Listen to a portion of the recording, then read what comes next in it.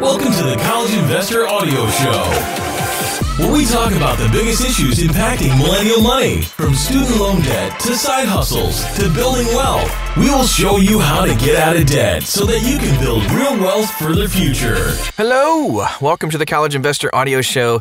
Today we kind of clear up a question. I know a lot of people have this. What is a clearinghouse? So let's just get right to it. You know, most investing brokers, including investment apps, use clearinghouses to ensure that financial transactions settle correctly.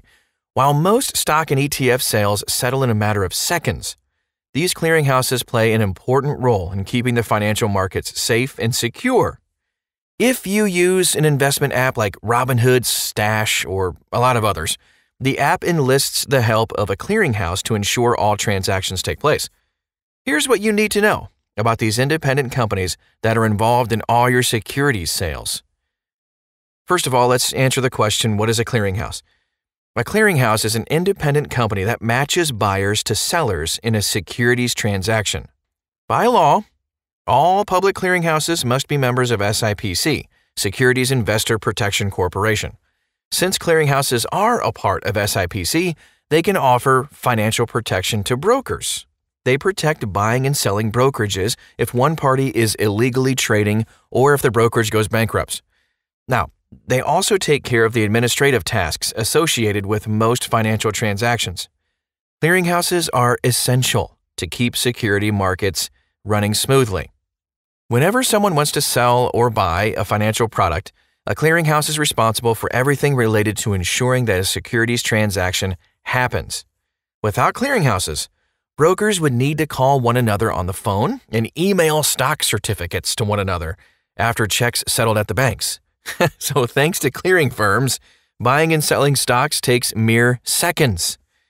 So, bes- besides the risks involved with emailing all that data back and forth, clearinghouses take on that risk for us of all the stock transactions while they are in the transaction. Often, the clearinghouse will be responsible for just a few seconds.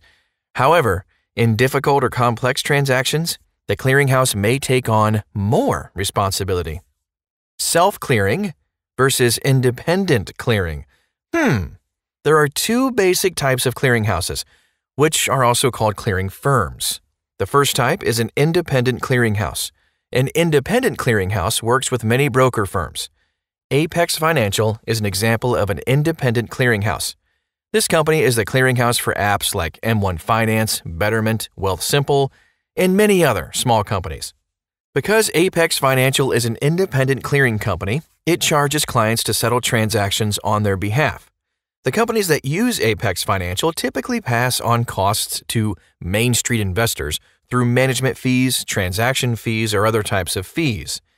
However, as an investor, you'll never see a fee directly charged from Apex Financial. The other type of clearinghouse is a self clearing firm. Major discount brokers like TD Ameritrade, Fidelity, Vanguard, Robinhood, and others own private clearinghouses. These companies have enough trading volume to justify owning an independent clearing firm to settle their transactions. This can mean lower trading costs or lower management fees for clients, but that isn't always the case. The exact price you pay for your investments depends on the fee structure at a firm. These companies may charge lower fees, but that isn't always the case. How do clearinghouses work for investment apps?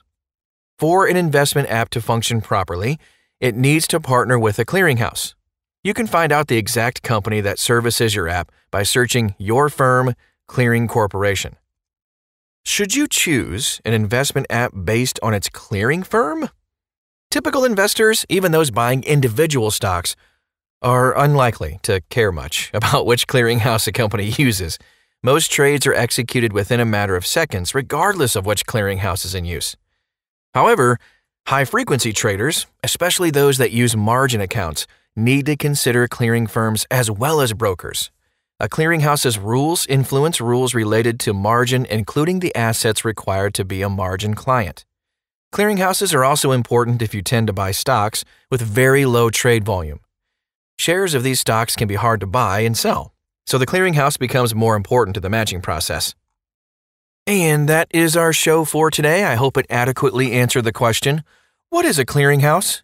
If it didn't, you want to find out more, dig deep into this question, you can find it at thecollegeinvestor.com.